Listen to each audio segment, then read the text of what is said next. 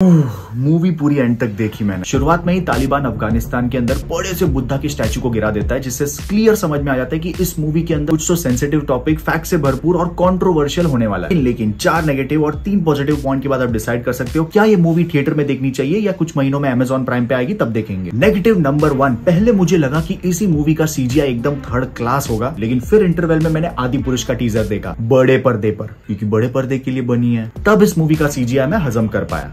Honestly speaking action scene में दबा के ग्रीन स्क्रीन यूज़ किया है। मूवी के अंदर एक सीन है जहाँ पे अक्षय कुमार को सूट पहनाया जा रहा है। लिटरली हाथ फैला के ऐसे खड़ा है, उसके हाथों पे ग्रीन स्क्रीन का रिफ्लेक्शन दिख रहा है। उससे समझ में आता है ऑडियंस को कितना ज़्यादा फॉर ग्रांटेड लिया और यही नहीं, इनका सीजीआई तो तब एक्सपोज हो जाए जब वाइड एंगल के शॉट होते हैं डेजर्ट के अंदर या फिर वो अंडर वाटर वाला। अरे बाप रे, मत पूछो भाई। लिटरली कैरेक्टर को कट पेस्ट करके कोई स्क्रीन सेवर के ऊपर चिपका दिया हो, ऐसा फील हो रहा था। ये तो कुछ नहीं, जितने भी फीमेल कैरेक्टर्स है, पता नहीं डायरेक्टर की क्या दुश्मनी थी इनसे, इनको एकदम नकली और फोर्सफुल दिखाया है। जैकलिन का तो पूछो ही मत भाई, ये सिर्फ़ मूवी के कैरेक्टर्स को इरिटेट नहीं कर रही है, हमें भी इरिटेट करती है स्टूपिड क्वेश्चन पूछ के। बाय द वे ये साइंटिस्ट है मूवी के अंदर। और बात बात पे ओवर एक्टिंग वो एक्सेंट चिड़ चिड़ आ गई थी। सेकेंड हाफ़ के एडवेंचर के अंदर ये लोग पानी में से, हवा में से, यहाँ वहाँ से, कहाँ कहाँ से निकलते हैं, लेकिन मज़ा है जैकलिन दीदी का एक टक्का भी मेकअप खराब हुआ हो। बाकी सारे कैरेक्टर्स के चेहरे के ऊपर काला पोत दिया, लेकिन जैकलिन को कोई हाथ नहीं लगाएगा। मैं स्कैन कर रहा हूँ बार बार जैकलिन को कि कहाँ छुपाया इसने मेकअप किट माँ कसम, मैं सिर्फ़ मेकअप किट ही ढूंढ रहा था। तीसरा नेगेटिव था वॉइस डबिंग पता नहीं सिर्फ़ मेरे थिएटर के साथ ही ऐसा था। वॉइस ओवर का आवाज़ एकदम अलग स्टीरियो और बैकग्राउंड एकदम बड़ा।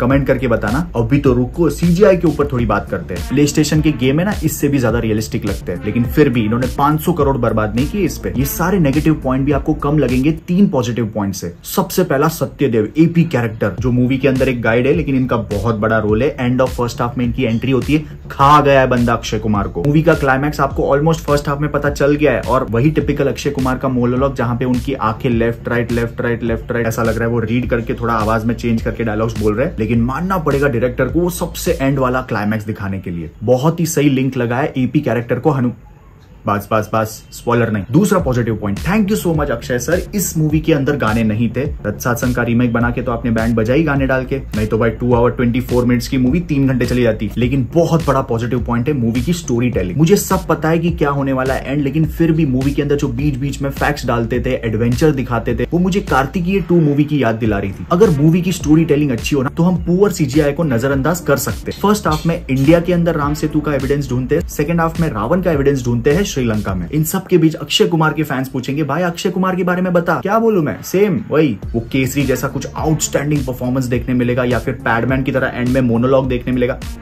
कुछ नहीं था ऐसा। ही वॉज़ जस्ट देयर कुछ खराब भी नहीं किया, कुछ अच्छा भी नहीं हुआ। मैंने कहा, ना, सत्यदेव एपी कैरेक्टर खा गया है पूरा। एंड में मैं यही कहूँगा थिएटर्स में अगर कुछ एंटरटेनिंग चाहते हो फैमिली के साथ तो परफेक्ट मूवी है। लेकिन अगर आप बहुत सारी मूवीज़ देख चुके ऑलरेडी तो खतरों के खिलाड़ी मत बनो। अमेजोन प्राइम पे बहुत जल्द आ जाएगी। एक दो करोड़ ज़्यादा दिया ना अमेजोन प्राइम में तो कल ही आ जाएगी शायद। ज़रूरत से ज़्यादा आपने प्यार दिया इस चैनल को। वन मिलियन क्रॉस हो गए हम। अब बस जेनुअन रिव्यूज़ के थ्रू मुझे सेवा का मौका दीजिए। Thank you so much love you take care bye